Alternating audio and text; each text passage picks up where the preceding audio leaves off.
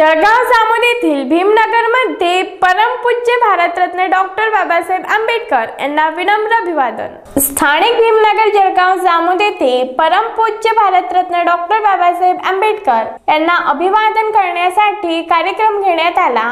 कार्यक्रमाची सुरुवात सन्माननीय नागरिकांतर्फे दीप प्रज्वलन करून पुष्पहार अर्पण करून अभिवादन करण्यात आले.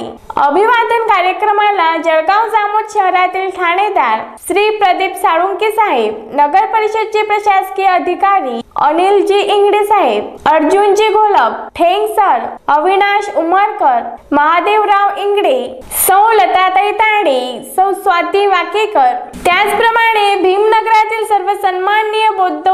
उपासक उपासिका. त्याचप्रमाणे भीम मित्र मंडळ यांनी परमपूज्य बोधिसत्व डॉक्टर बाबासाहेब आंबेडकर यांना पुष्प अर्पण करून आदरांजलीपर विनम्र अभिवादन केले. विश्वरत्न बोधिसत्व डॉक्टर बाबासाहेब आंबेडकर यांचा महापरिनिर्वाण दिवस.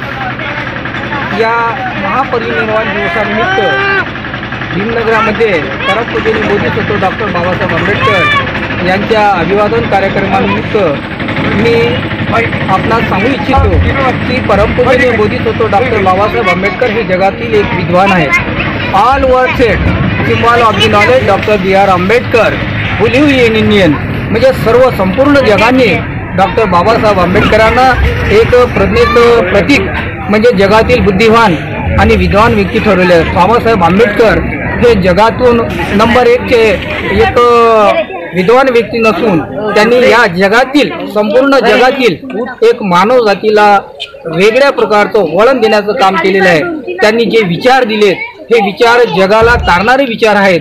बाबासाहेब आंबेडकरांनी या जगातील प्रत्येक नव्हे प्रत्येक जातीला नव्हे तर प्रत्येक व्यक्तीला एवढेच नव्हे तर वनस्पती किंवा निसर्गातील सर्व जीवजंतू आणि रेतीसुद्धा रेती दगड यांना सुद्धा एक वेगळं स्थान दिलेलं आहे.